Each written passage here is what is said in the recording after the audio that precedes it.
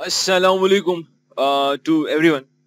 I strongly believe that every one of you uh, must have attempted test 5 and now you are watching lecture on this test 5.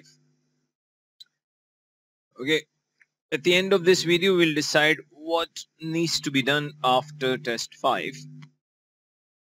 Let's attempt this question first. Again, I'll try my best the, to keep the video short, as short as possible, knowingly that exams are very near. Okay. Just a minute. Carry out the work requested in the email from your manager. The following marks are available. Schedule prepared by Mill gives you 11 marks. That's a lot. The following movement in the retail price index should be used when necessary. They have given us retail price index. Okay. Then requirement B says payment to GAIL gives you 9 marks. Non-disclosure of income gives you 5 marks. So let's read the question. Uh, looks little bit easier question than others. You should assume that today's date is 9 June 2022. So there's no harm we, we, we assume, okay. Your manager has had a meeting with GAIL. GAIL owns the whole of ordinary share capital of Arrow Limited. GAIL is the actually owner of Arrow Limited. An email from your manager setting out the matters discussed in the meeting and schedule prepared by Mill, a junior member of your firm's tax department, are set out below. Email from your manager, date 9 June 2022, GAIL. GAIL was born in 1975 and is resident and domicile in the UK. We know that one thing. Whoever is resident as well as domicile in the UK, that person needs to pay tax on his or her worldwide income. She owns the whole of ordinary share capital of Arrow Limited and works full-time as a director of the company. A Limited owns whole of the ordinary share capital of Zephyr Limited. Now what is happening? GAIL owns 100% ownership in Arrow Limited and Arrow Limited is the one who owns 100% holding in Zephyr Limited. So it means that A Limited and Zephyr Limited, they are in 75% capital gain group, they are in 75% loss relief group. If provided that both are in UK, both are in UK. A Limited and Z Limited both are UK resident companies. So they are making 75% capital gain group as well as 75% loss relief group historical transaction in respect of A Limited and Z Limited. What happened in the past between A and Z Limited? Examiner is giving us the information. All transaction took place at market value. Okay. January 1st January 2014, A Limited acquired the whole of the ordinary share capital of Z Limited for 1,80,000. So it was 1st January 2014 when A Limited acquired whole of the ordinary share capital means 100% holding they took in Z Limited for 1,80,000.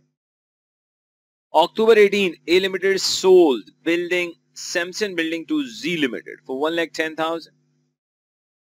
A Limited purchased this building for 75,000 on December 10. Now listen and listen carefully. What is happening on 1st October 2018? I'm explaining dear student and you need to write in your own wordings, in your own words.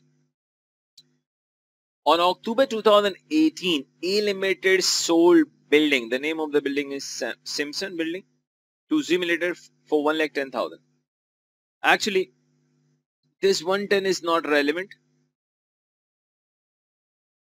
Logically, what is happening? A Limited is selling a building to Z Limited and both are part of 75% capital gain group.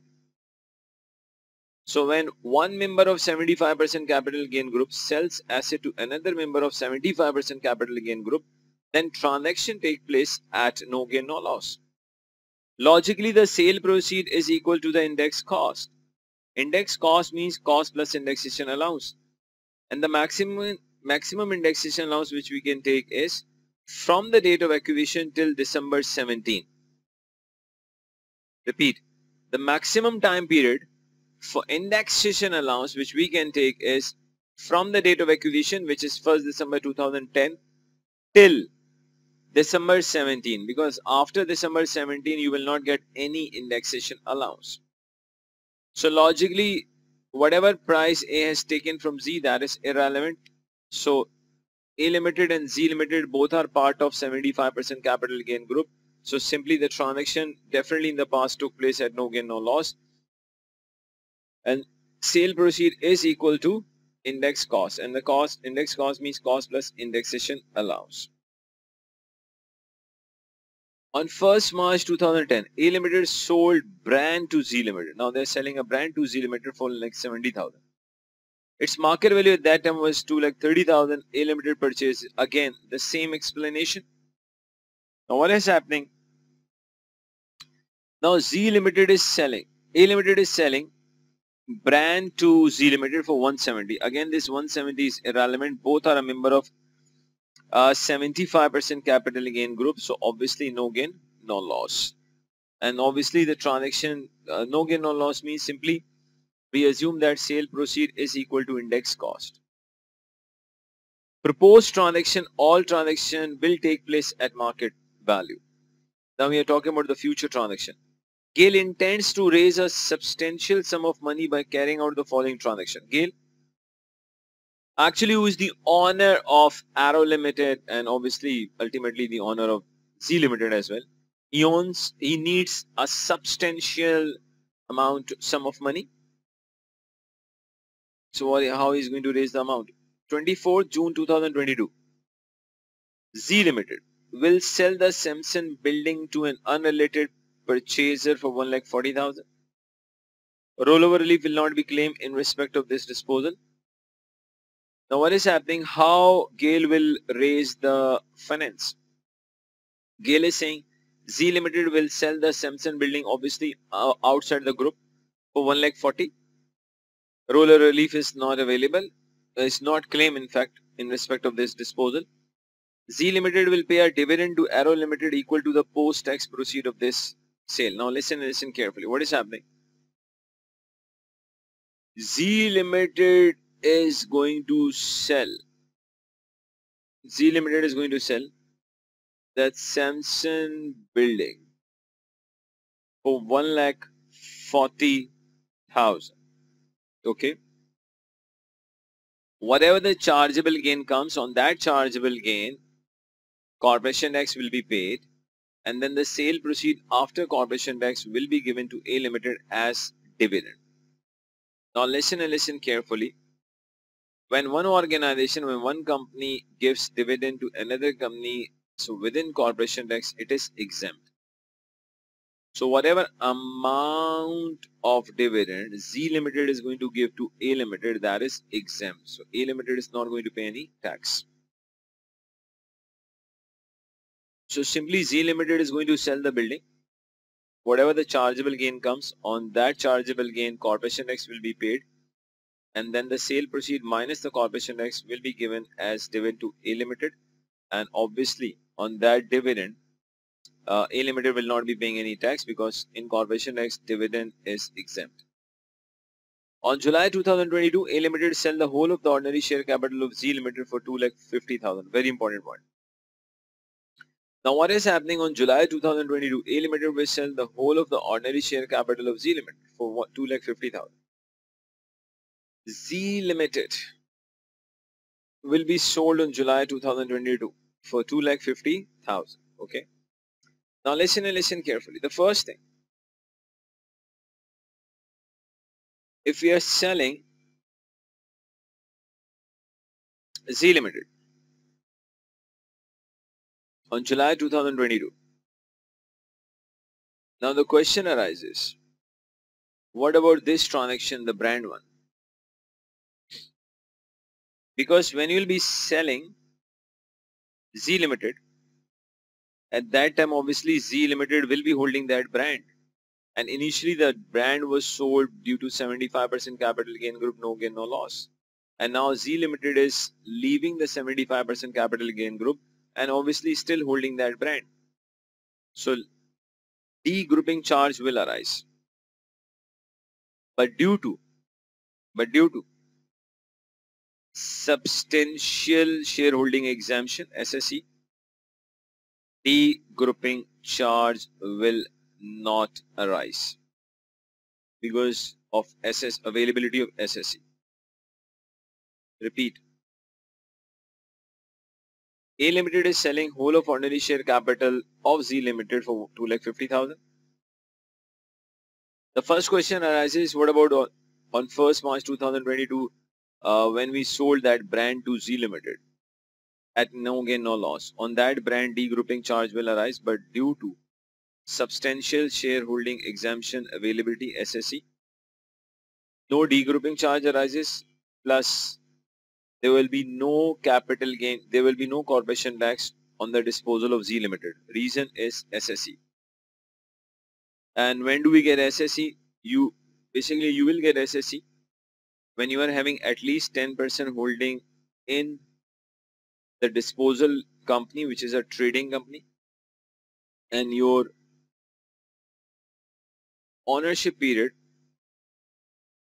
must be 12 consecutive months in the 6 year prior to sale. So SSE exemption is only available when you are having at least 10% holding in the last 12 months out of 6 years before the disposal. Okay. So simply on brand degrouping charge is not arising due to SSE and whatever the capital gain comes on the disposal of Z Limited is again no capital gain, no corporation tax arises because of SSE. Now there is one question. Now listen and listen to the question. Some of the students they think, they might be thinking, sir, on July 2022, when we are selling A Limited, when A Limited is selling whole of the ordinary share capital of Z Limited, and we are talking about degrouping charge on the brand. Why we are not talking about the degrouping charge on the building? There's a reason. Because before leaving 75% capital gain group, Z Limited leaves the 75% capital gain group on 1st July 2022. But before this date, prior to this date, that is 24 June 2022, so prior to 1st July 2022, Z Limited will have already sold the Samsung building to an unrelated party outside the group. So no degrouping charge question arises on the building. Because when Z Limited is leaving the group, when Z Limited is leaving the group, at that time Z Limited is only holding the brand.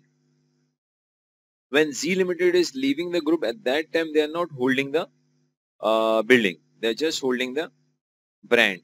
So that is why I'm discussing the degrouping charge issue only on the brand. I'm not discussing any degrouping charge on the building because logically the building is already sold by Z Limited, Zephyr Limited before leaving the group. Okay. So that is the discussion of the degrouping charge will only uh, relates to will only relate to a brand. Okay, now what? And another point which you have to mention is there is SSE, substantial shareholding exemption. Due to substantial shareholding exemption, uh, whatever the capital gain comes on the disposal of Z Limited, no corporation tax arises. 15 July 2022. All of the cash realized by A Limited as a result of transaction 1 and 2 will be pay, will be paid to GAIL in the form of either dividend or bonus. So whatever the cash will be raised, entire cash will be given to GAIL in the form of uh, either dividend or bonus. Now let's see what they are saying. Please carry out the following work. Schedule prepared by mill. I can confirm that there are no computational errors in the schedule, but I suspect that mill will have made a few technical errors. Okay. Please identify and explain any errors in the schedule. Explain whether or not notes to the schedule are or are not correct. And calculate the correct amount to, of the total uh, cash available to pay to GAIL. Payment to GAIL.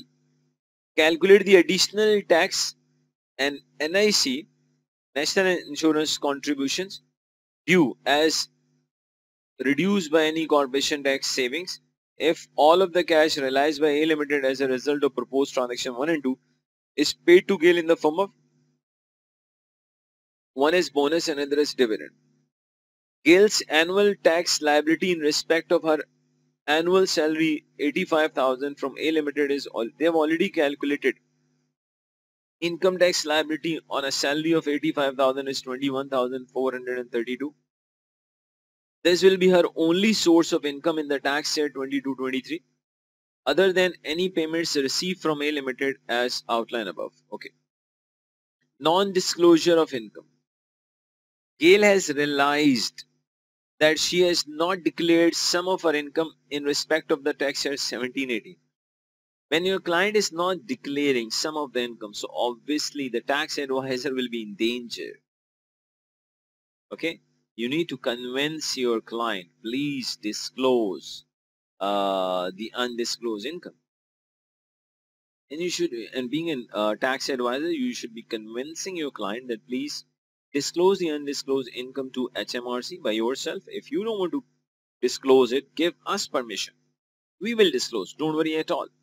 But if your client is not listening to you is not still willing to disclose uh, undisclosed income to HMRC then your tax firm should not be giving tax services to such a client. And you should refuse working for GAIL uh, without giving any reason to HMRC. GAIL has realized that she has not declared some of her income in respect of the tax year 1718.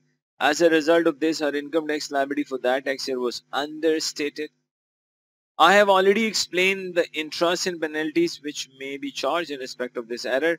State the other matter which need to be considered. I just discussed that. Uh, the answer of C should be that GAIL should disclose undisclosed income to HMRC. If not, then GAIL should give us permission that we can disclose undisclosed income to HMRC. And if GAIL is still not listening to us, then we should not be acting as tax advisor for GAIL and there's no need to give any reason to HMRC just inform to HMRC that no more we are working uh, for GAIL. Schedule prepared by MIL. Cash will be available to pay GAIL as a result of proposed transaction 1 and 2. Sale of Simpson building 1 lakh 40 okay less proceed cost 110 no no no this actually your cost will be the original cost plus indexation allowance. You cannot take the indexation allowance till June 2022. So this is incorrect. Obviously, and we don't pay any tax on dividend. No tax is paid on dividend because when one company gives, one corporation, one company gives tax to another company that is exempt within corporation tax.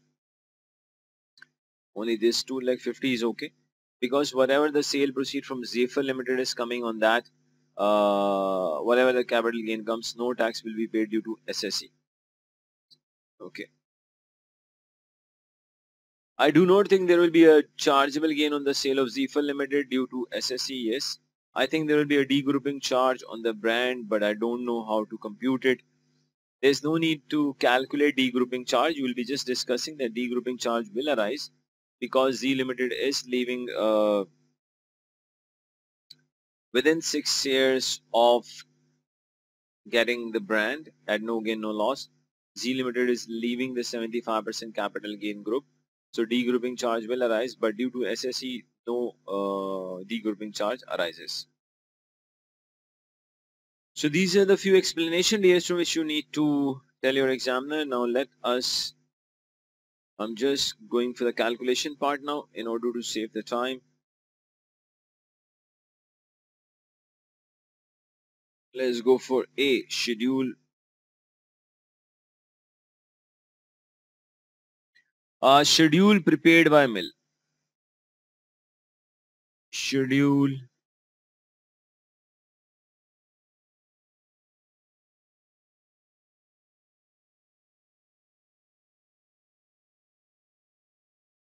So simply cash available to as a result of transaction 1 and 2.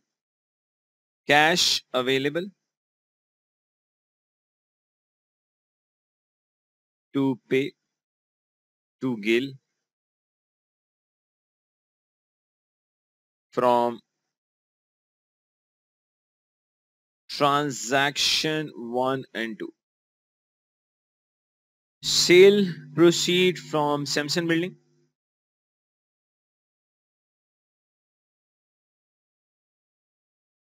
Sale proceed from Samson building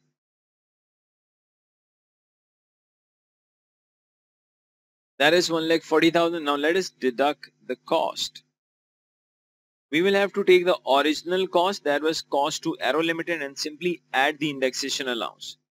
From the date of acquisition till December 17 because after December 17 you will not get any uh, indexation allowance. Less cost. So cost to Arrow Limited originally it was for 75,000 simply add indexation allowance.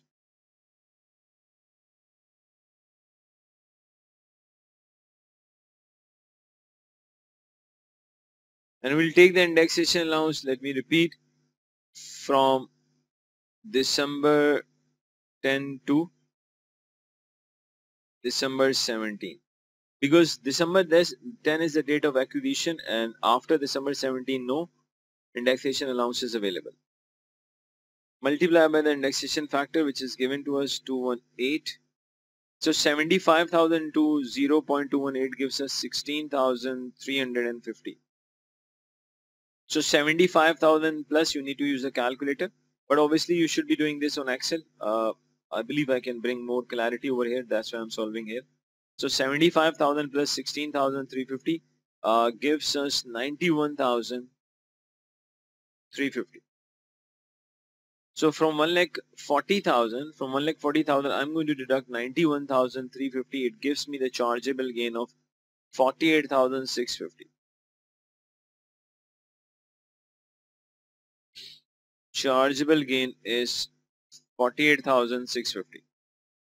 Corporation tax rate is simply 19%.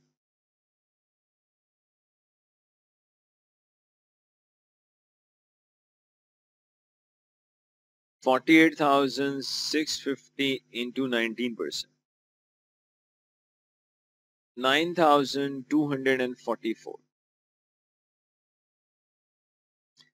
Now, whatever we are raising from the dispos disposal of Simpson Limited after giving the corporation tax entire amount will be paid to A Limited as dividend. And dividend income from one company to another company is exempt. So simply dividend paid to A Limited. Z Limited is paying dividend to A Limited. Dividend paid to Arrow Limited. The sale proceed is 1 lakh 40,000 and the corporation tax is 9,244. So 1 lakh 40 minus 924 9244 gives us 1 lakh 30,756. So from transaction 1 we are getting this uh, amount as dividend to for A limited one lakh thirty thousand seven fifty six. On this one lakh thirty thousand seven fifty six, A Limited will not be paying any tax because dividend income from one company to another is exempt. Sale of Z Limited does not result in any tax because of availability of SSE, Substantial Shareholding Exemption. Sale of Z Limited. Sale proceeds 2 lakh 50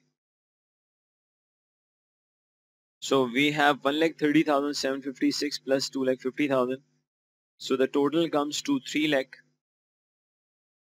80,756 this is the total available cash which is uh, available for GAIL obviously.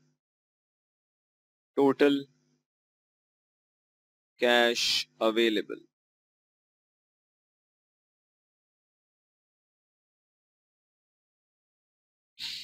So total cash available for GAIL is 3 lakh 80,756. Now this, this is part A, which gives you 11 marks, but you have to explain. What are the things which you need to explain is uh, that when one company of a 75% capital gain group sells asset to another company, then it is on no gain, no loss. And second, you need to discuss uh, degrouping charge. And third is SSE. So there are just three things which you need to discuss before this calculation. 75% capital gain group rule. Second, uh, degrouping charge. And third is SSE. And after the, that, the whole calculation which I have just uh, did in front of you. Now let's go to requirement B which says payment to GAIL. Payment to GAIL. So 3 lakh 80,756 either will be giving this to GAIL as bonus or as dividend. So let's deal as bonus. Payment of payment of a bonus. We are giving 3 lakh 80,756 as bonus to Mr. Gill. He's already having annual uh, employment income 85,000 which is given to us. Employment income given is 85,000. Obviously bonus is also part of employment income. So bonus is 3 lakh 80,756 net income? 85,000 plus 3 lakh 80,756 gives us 4 lakh 65,756 uh, obviously you will not be getting any you will not be getting any uh, personal allowance because your adjusted net income is more than 1 lakh 25,140 so simply personal allowance will be zero.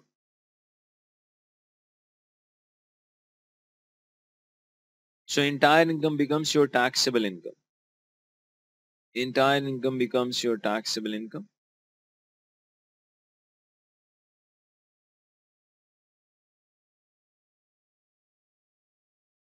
Because of this, we are having personal allowance zero. So your taxable income is 4 lakh 65,756. Now simply let us calculate tax.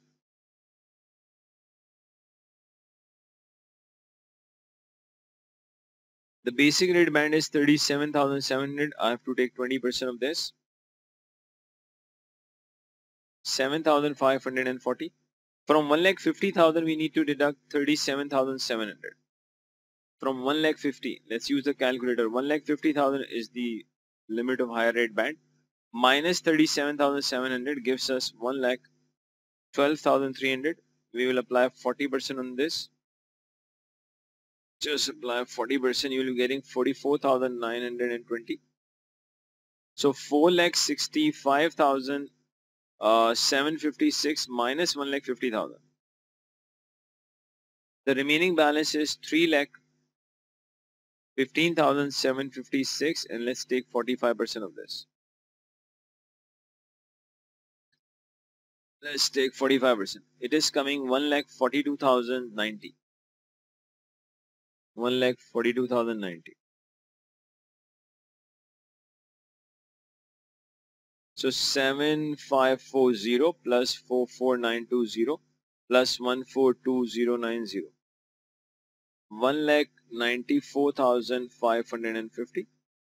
So now the income tax liability is coming 1 lakh 94,550 examiner has already given us uh, existing employment income which is 85,000 and examiner has already calculated uh, income tax liability on 85,000 which is 21,430 we just need to calculate additional income tax liability additional NICs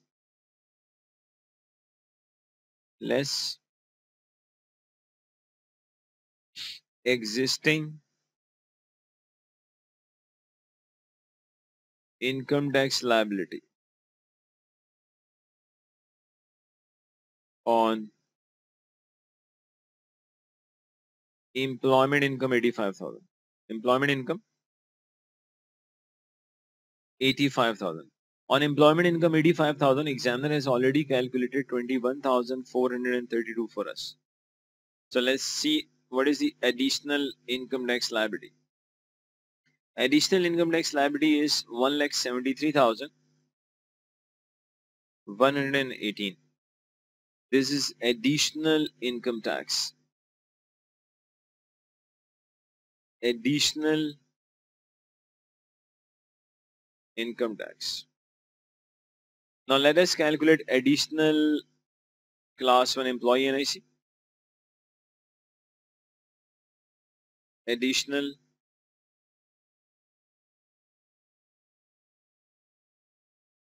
class 1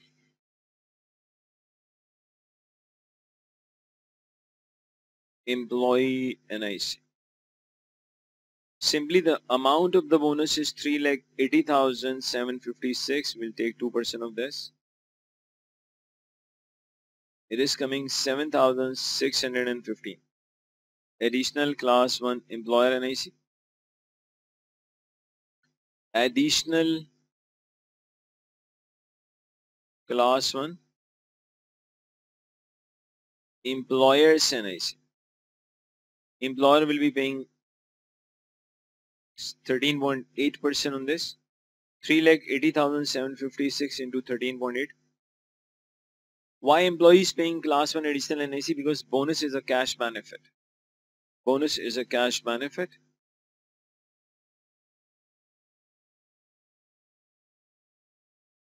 It is coming 52,544.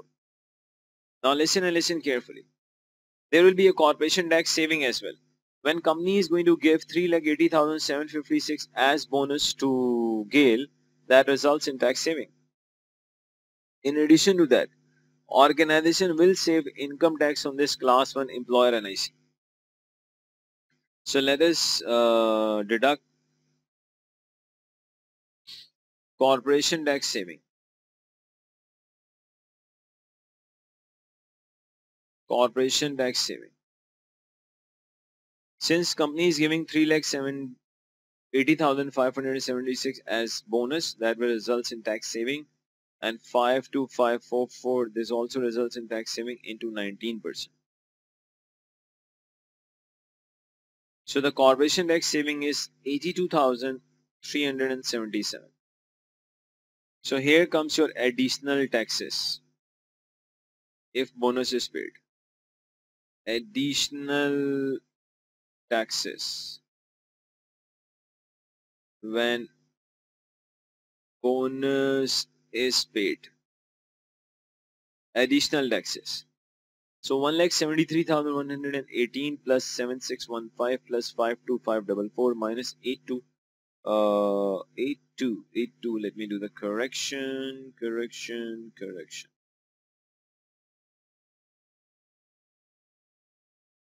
8 to 327. So please correct it. It is 8 to 327. I'm getting 1 lakh 50,950. Now the same amount which is 3 lakh 80,756 if it is given as bonus. Payment of 380756 as now dividend. We have already dealt with bonus, now dividend. So let's deal. We already have employment income of 85,000. Employment income is 85,000. Simply take the dividend income.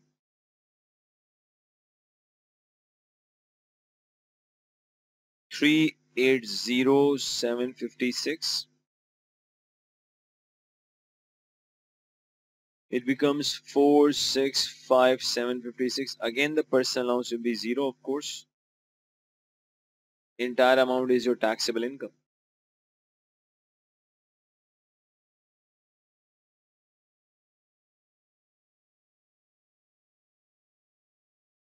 entire amount is your taxable income okay? So let's calculate tax. On a basic rate band we uh, let me put this income tax. 37,700 into 20% gives us 7540 now listen and listen carefully dear student uh, this Mr. GAIL is having employment income of 85,000 and 380756 is given as dividend. Dividend is having different tax rate and uh, employment income is having different tax rate. So from 85,000 we need to deduct 37,700. So let's see how much, what is the remaining employment income on which we have to apply tax rate. So repeat, the employment income total is 85,000. From 85 I'm deducting 37,700. Previously, we did not do this because previously uh, additional amount was given as dividend and when additional amount was given as dividend, that is also a part of employment income. So in previously, we did not do like this. Right now, the additional income is given as dividend. So that is why we are doing, uh, we are first calculating employment income separately and then we'll go for dividend. So employment income is 85,000. Out of that 85, we have applied tax on 37,700. So the remaining amount is 47,300. On this 47,300, you have to use 40%. It is coming 18,920. Now we will move to dividend income. And in case of dividend income, we know one thing very well. What is that? Uh, irrespective of individuals, sorry, tax paying status, you will get nil rate band of 2000. Irrespective of individual's tax paying status.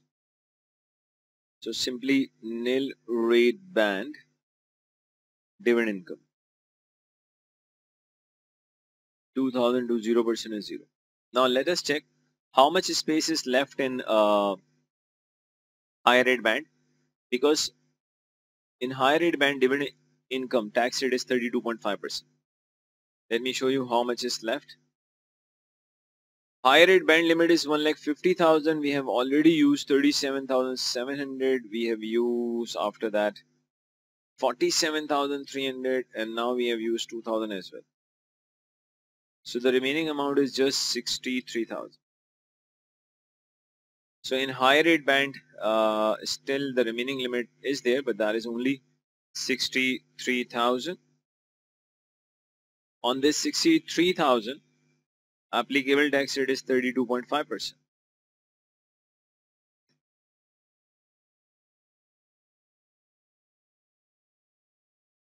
Just apply 32.5%.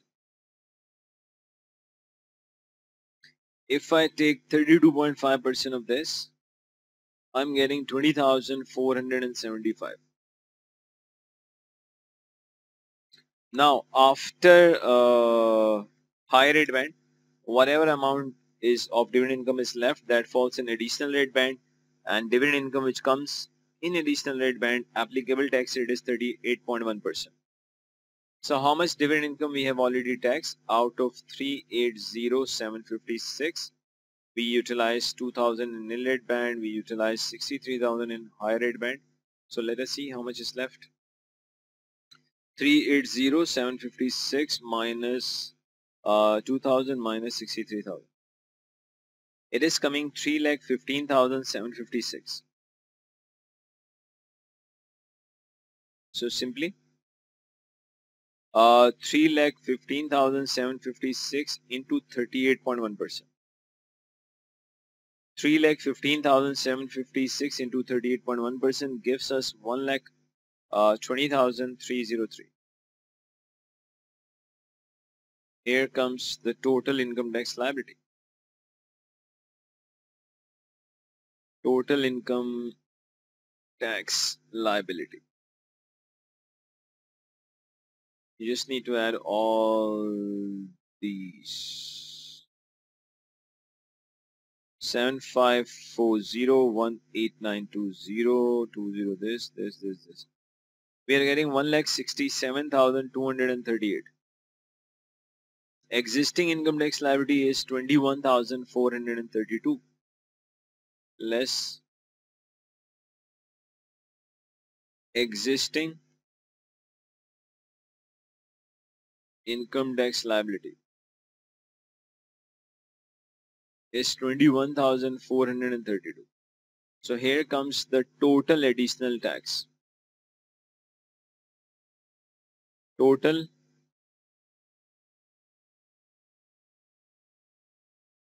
additional taxes when dividend is paid because no NIC arises. It is uh, 1,45,805. Why it is happening? Because in case of dividend, no NIC contribution consequence implication will arise. Simply there will be there will be no national insurance contribution by GAIL and company when dividend is given.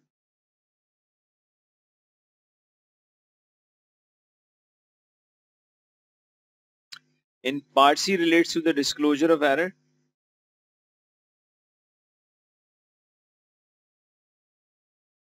What do you have to write for disclosure of error? I did mention, and it is mentioned in the question, there's no need to write about the penalties because those things, uh, they have already been explained to GAIL. Simply you have to write that uh, our organization, our firm should request Mr. GAIL uh, to disclose the undisclosed income to HMRC. If not, then GAIL should give us permission that we can disclose undisclosed income to HMRC. But if GAIL is still not listening to us and if GAIL does not still uh, want to disclose the undisclosed income, then our tax consultancy firm should not be working for GAIL anymore. And there's no need to give the reason to HMRC, but we should not be working. That's it. These are the things which you need to discuss. So dear student, that was all about uh, test 5 now oh, oh, what are we left with what I'm going to do I'm going to share test 6 with you guys and after sharing text test 6 uh, within one or two days of sharing test 6 I'll share the mock as well then obviously I'll give you exactly one week to attempt uh, mock and test 6 both as well. First, I'm going to share the test 6 and then within uh, one or two days after sharing the test 6, I will share the mock. Okay. So I strongly believe that, see, the all the tests which we are conducting, it is for your benefit. So you should be properly attempting them. You should be properly contributing in these tests. Then you will get a really good benefit. So simply Thank you very much for watching this lecture. Have a nice life. Assalamu alaikum.